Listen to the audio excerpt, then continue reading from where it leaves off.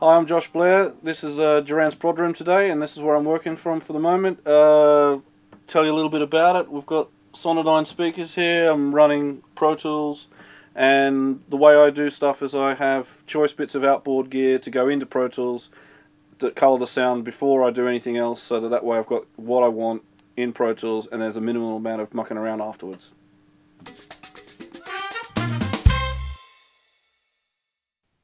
I, when I uh, choose monitors, I like to go for a set that are kind of true to what they should be, not too hi-fi, not too unflattering, so that I can listen to them and I can be inspired during the day. And what's out in the room is what I'm getting in here. So I, I work a little bit to make it sound better, but uh, that's what I want to hear.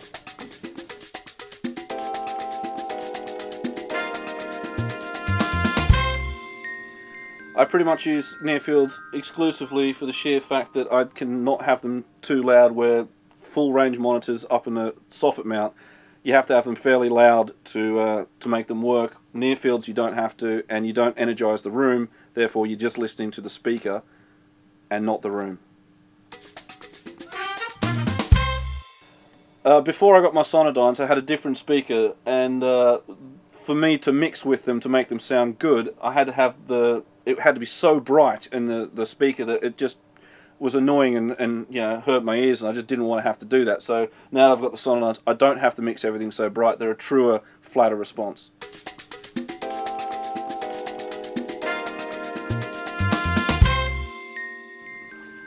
Uh, what I like about the SM100 is the the bass is true and full, but not over hyped. It's not a really boomy box. It's it's got the, enough bass in there so you know what's going on, but not overly hyped like some speakers are.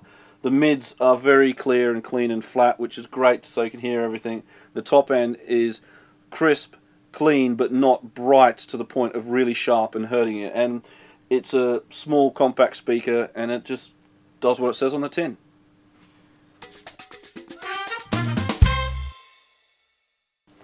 Yes, the stereo image and detailing is is great with these speakers. It's just for a monitor it's really good so I can hear what's going on the pan with pan positions and everything. I don't get any mush. You listen to what's in the recording you stand in front of the drum kit you listen to it on the speakers it's exactly what it is. Like a stereo pair on the on the drum kit and you can almost hear exactly where everything is. It's it's great so for these I love mixing with them and recording with them because I know exactly what's going on.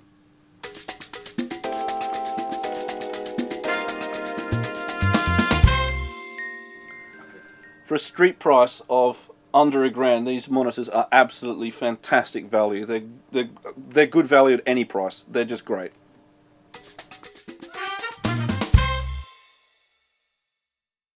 So far I've used the Sonodynes on pop, rock, R&B, a whole bunch of different stuff. It all works. It's great. I love them. I can hear exactly what I want to hear. Uh, and the whole Duran Duran album that I've been working on so far has been done with these.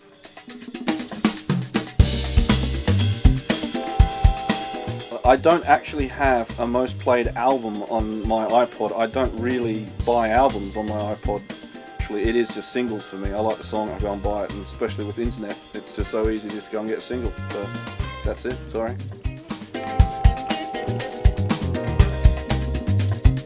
Uh, the song that I use all the time as a reference track is uh, Fields of Gold by Sting.